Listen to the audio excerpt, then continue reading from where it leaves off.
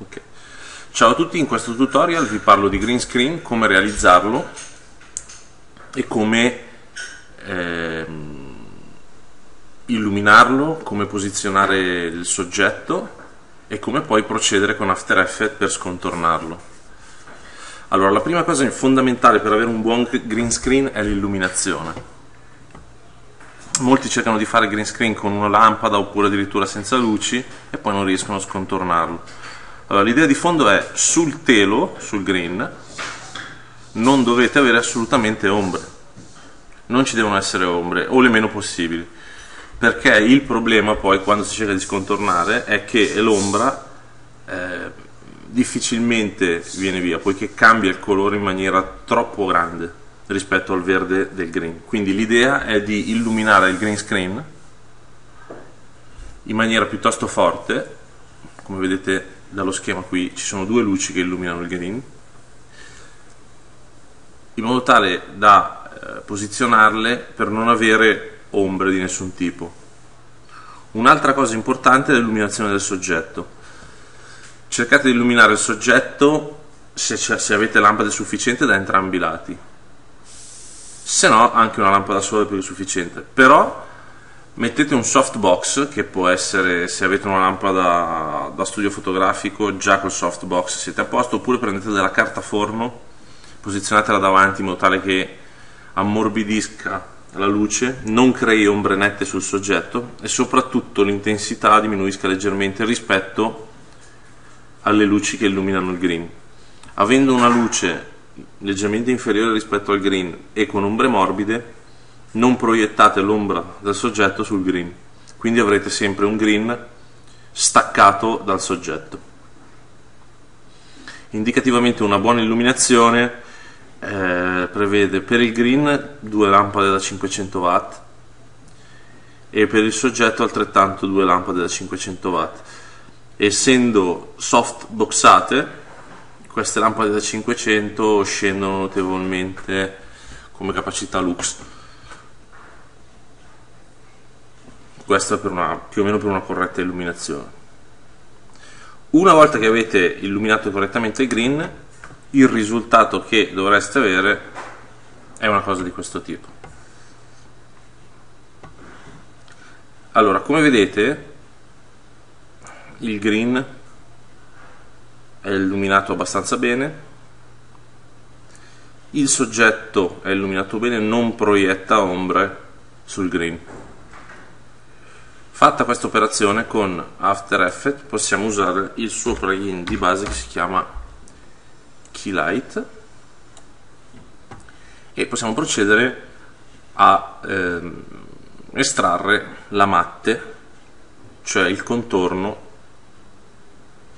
del green screen. Allora, prendiamo lo screen color, selezionate un colore eh, del green perché se voi guardate non è un verde sempre uniforme.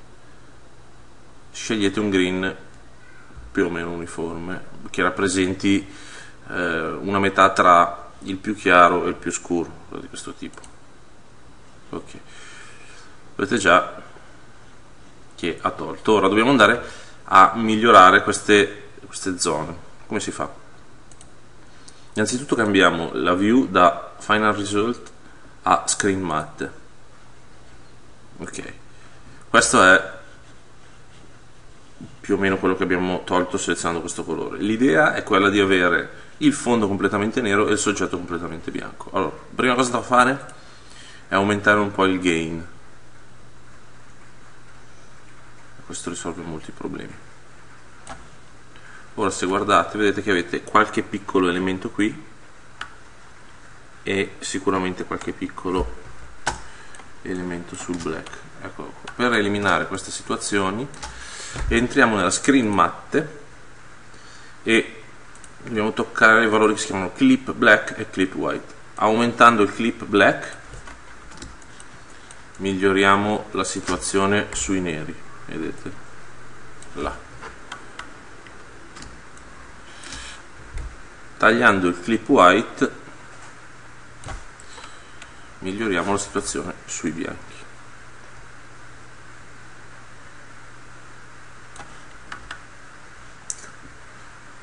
Che così ci siamo. Ok. Se avete comunque qualche piccolo piccola imperfezione ancora potrebbe essere il colore che avete scelto di verde. Allora dovete resettare io per esempio non sono convinto di questa selezione di verde. Ritorniamo su source. Prendo un altro punto di verde questo. Ora faccio il sono su screen matte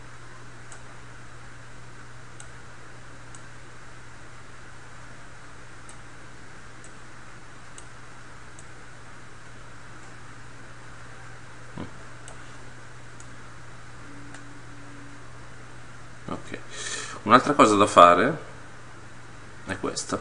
Una volta che avete selezionato e tagliato bene potete modificare lo screen softness che addolcisce un po' i bordi. Vedete?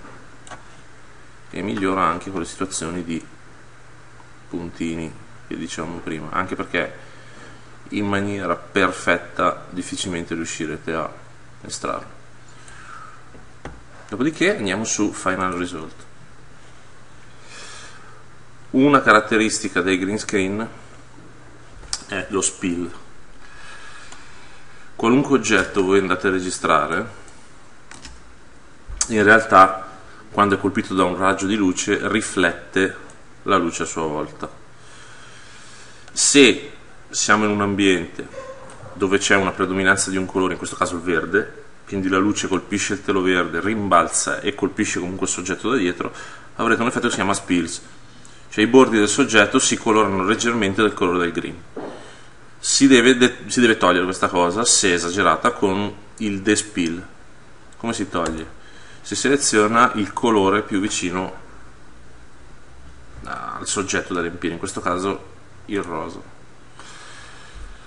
Può capitare questa operazione, vuol dire che abbiamo scelto un despill sbagliato prendiamolo da un'altra parte.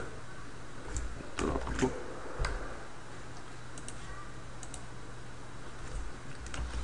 Troppo.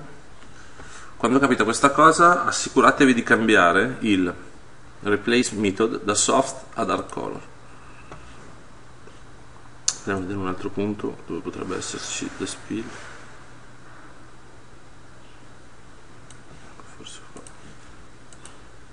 ecco fatto ora dovrebbe essere dei spill. Sì, come vedete non ci sono più i riflessi verdi. Per testare la qualità del, del vostro scontorno prendete un'immagine piazzatela sul fondo io prendo questa là. se il vostro soggetto è scontornato bene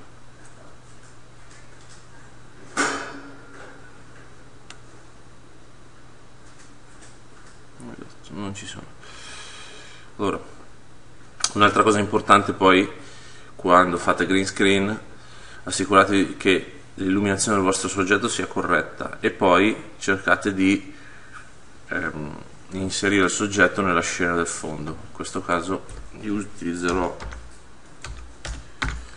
le curve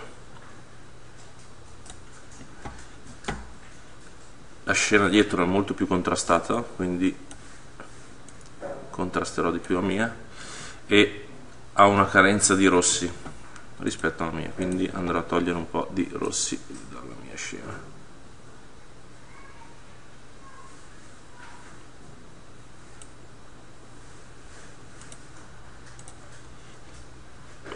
Ha una predominanza di luci gialle.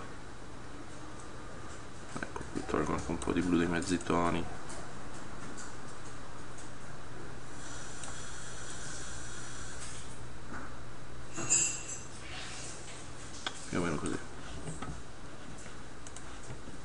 del soggetto più integrato all'interno della scena.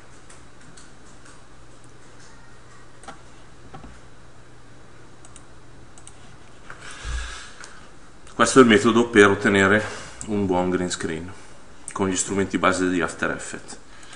Grazie a tutti per aver seguito il tutorial e alla prossima.